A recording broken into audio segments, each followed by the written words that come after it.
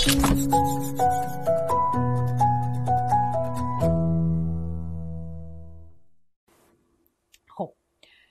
olumsuz زمان رو موافق olumsuz سرو رو موافقید با هم الان شروع کنیم؟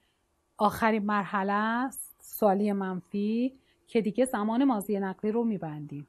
بر سر چی؟ بر سر اسم و صفت. خب بریم ببینیم چیه. فرمولش رو بلدید. همون فرمولیه که زمان ماضی نقلی بر سر فعل میاده. فقط به جای فعل اسم و صفت می‌ذاریم. بذارید با هم بریم کار کنیم. İsim veya sıfat artı olumsuz eki artı soru eki artı araya gelen y harfi artı zaman eki artı kişi eki دوستان من بارها گفتم بازم میگم. olumsuz eki یا پسفند منفی ساز همیشه به فعل یا به اسم و صفت اینجوری چسبیده جدا نمیشه.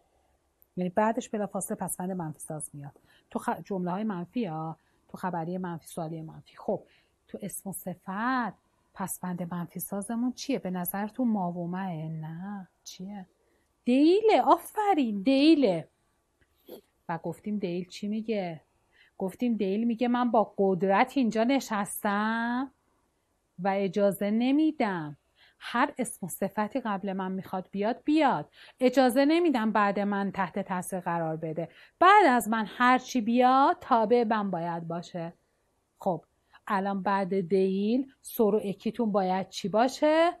قاعدتا می. بعد سرو اکی زمان اکیتون باید چی باشه؟ طبیعتا میش. به خاطر اینکه همدیگر رو دارن همینجوری تحت تاثیر قرار میدن. و یکیتون باید چی باشه؟ قطعا فقط یک مورد های نقطه دار. im sin سوم شخص مفردم که چی نداره iz siniz و ler. درسته؟ سخت که نبود. می‌بینید değil چقدر خوبه؟ کار ما رو راحت می‌کنه. خیلی خوبه. کاش همه زمان به اصطلاح موارد حالت های جمله همین دیل رو داشتن. میگه چون من اومدم بعد من همه از من پیروی می‌کنن. آخرین حرف صدا داره من میگه چیه؟ ایه. چون ایه سر اکی باید فقط میش بیاد. از چهار حالت فقط میش بیاد. به خاطر اینکه می اومده زمان اکی از هر چهار حالت باید میشش بیاد. به خاطر میش کشی اکی از چهار حالت باید یه حالتش بیاد. تو هر زمیر فاعلی. درسته؟ خب موافقید. آها الان شما میگید اینجا دوباره یه میانجی یعنی چی؟ برای چی اومده؟ خب عزیزان همون داستان آلرژی دیگه. میه مش یا میش فرق نمی‌کنه. میه میش ها به این که حرف قبلش صدا دار باشه آلرژی داره. نمی‌تونه کنارش بشینه. خب آلرژیش عود می‌کنه. اینه که اونجا یه میانجه قرار می‌گیره که بین اینا فاصله بندازه. اینم داستانش همین بود. حالا بریم با هم مثالهاش رو یاد بگیریم. کرکاک یه پشتش دیل میارید بعد دیگه تموم شد کارتون راحت کرکاک دیل به خاطر دیل می به خاطر می میش به خاطر میش هر چی نقطه داره دیل می میشیم دیل می میشسین دیل می میش دیل می میشیز الی آخر درسته فقط نحوه نوشتنش رو ببینید کرکاک جدا یه فاصله دیل جدا یه فاصله سوالی ببد. کرکاک یا فرق نمی‌کنه بگیم اسم و صفت. یه فاصله دیل یه فاصله سرو اکی به بعد همه به هم میچسبن. خیلی مهمه ها عزیزان دقت داشته باشید. طرز نوشتن و بازم میگم بازم میگم تاکید می‌کنم دقت داشته باشید. اسم و صفت یه space فاصله یا با خودکار می نویسید یه کم فاصله. değil. یه کم فاصله. سوالی به بعد به هم می چسبه کرکاک دیل می میشیم کرکاک دیل می میشزین کرکاک دیل می میش کرkak değil miymişiz korkak değil miymişsiniz korkak değil miymişler آیا ترسو نبوده. اما آیا ترسو نبوده. یا آیا ترسو نبوده. از آیا تر... همینجوری تا آخر. خب. مثال بعدی چی بود؟ زنگین دیل به بعد رو عزیزان اینجا به ذهنتون بسپارید یا اگه کاغذی کنارتون دارید بنویسید.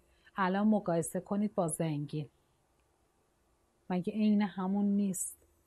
دقیقا همون رو تکرار کردیم ما چون متاسفانه جای اسلایدامون تو لپتاپ می‌دونید دیگه محدودیت داره و اینا نوشتش طولانی بود. من دلم می‌خواست کنار هم بنویسم مثل قبلی ها که دوتا رو کنار هم داشته باشید مقایسه کنید. ولی دیدم جا نمیشه تو اسلاید. مجبور شدم تو هر اسلاید یه دونه بنویسم. ولی شما اگه می‌تونید کنار هم بذارید با هم مقایسه کنید. یا تو کاغذی بنویسید یا با گوشی تو موبایلتون. عکس اونو بندازید کنار این نگه دارید ببینید. دیل به بدتون عین همه. زنگین دیل میمیشیم. زنگین دیل میمیش. به değil miymişsin zengin değil miymiş. zengin değil miymişiz. zengin değil miymişsiniz zengin değil miymişler می‌بینید؟ یا مثال بعدی pilot. pilot با وجودی که آخرین حرف صدادارش o ه جز گروه kalın هاست. ربطی نداره. değil اومده. با قاطعیت داره اونجا میگه بعد من باید شبیه خودم باشه. تابع خودم باشه. فاصله رو نگاه کنید. پیلوت فاصله. دیل فاصله. سرعه کی به بعد با هم. pilot değil miymişim, de pilot değil miymişsin, pilot değil miymiş, pilot değil miymişiz, pilot değil miymişsiniz, pilot değil miymişler و مثال آخر بیوک. بیوک دیل میمیشیم باز عین هم می‌بینید؟ به خاطر دیل می‌بینید چه نقش بزرگی داره ایفا می‌کنه. عین همه. büyük değil miymişim büyük değil miymişsin büyük değil miymiş büyük değil miymiş miymişiz büyük değil miymişsiniz büyük değil miymişler می‌بینید؟ پس عین همه. اسم و صفت هر چی می‌خواد باشه دیل که میاد بعدش عین همه. خب به نحوه نوشتاریش هم دقت داشته باشید. حل الان می‌بریم داخل همون جمله ها که مبحثمون رو ببندیم. جمله ها رو نگاه کنید. کن çok korkak değil miymişler آیا در دوران بچگی خیلی ترسو نبودن؟ در مورد کی حرف می‌زنه؟ onlar Gençlik zamanlarında zengin değil miymişsin? Gençlik zamanlarında زنگین دل میمیشسین. آیا در زمانهای جوانی پولدار نبودی؟ در مورد کی حرف می‌زنه؟ سن. از کجا فهمیدم سین؟ دل میمیش سین emeklilikten önce pilot değil miymiş؟ آیا قبل از بازنشستگی خلبان نبوده؟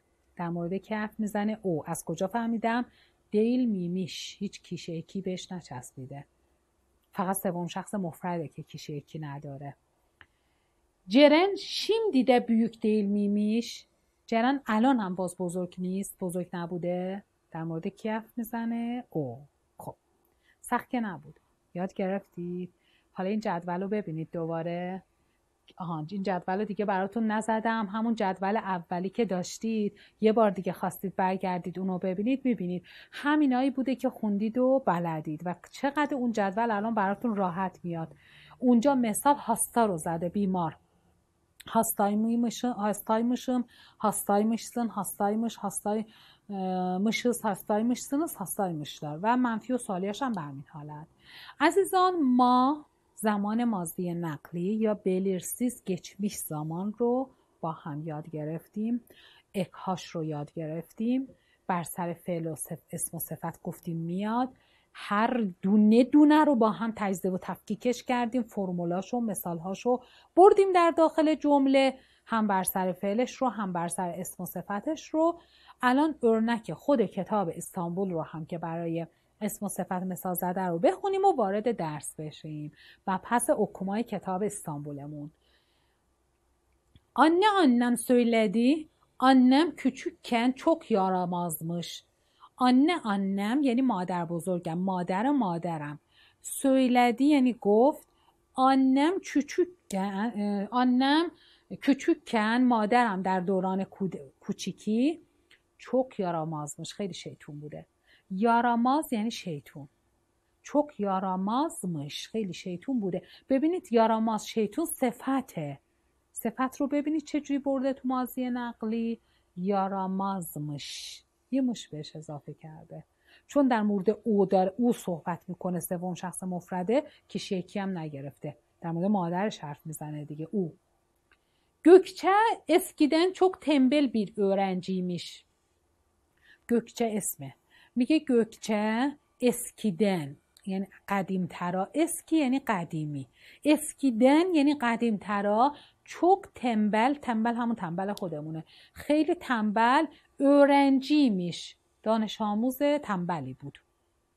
ببینید دانش آموز اسم دیگه. برده به مازی نقلی.